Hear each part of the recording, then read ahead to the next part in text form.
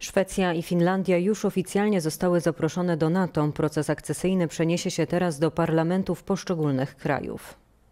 Według amerykańskiej administracji Joe Biden miał odegrać zakulisową rolę w negocjacjach toczących się wokół rozszerzenia NATO o Finlandię i Szwecję. Swój sprzeciw wobec tych państw wycofała Ankara, za co amerykański prezydent dziękował tureckiemu przywódcy.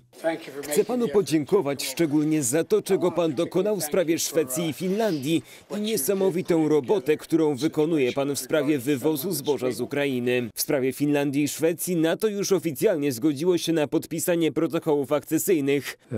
We To jeden z tych historycznych dni, których mamy mnóstwo tej wiosny.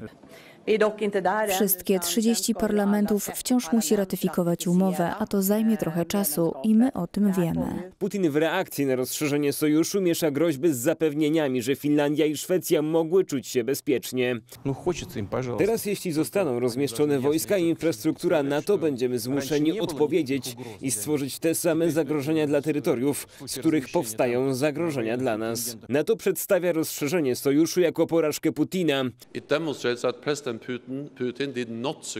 Putinowi nie udało się zamknąć drzwi NATO. Drzwi NATO pozostają otwarte i pokazuje to również, że szanujemy suwerenne prawo do wyboru własnej drogi. Porzucenie neutralności przez Finlandię i Szwecję to wprost reakcja na działania Putina na Ukrainie.